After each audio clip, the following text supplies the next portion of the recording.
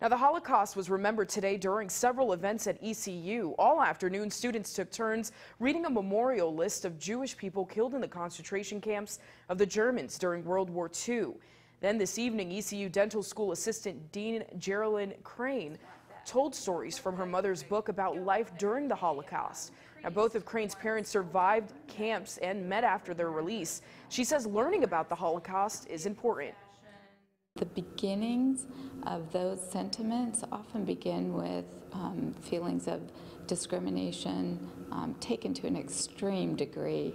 And that's in part what led to the Holocaust in my parents' experience. A candlelight prayer visual was also held tonight.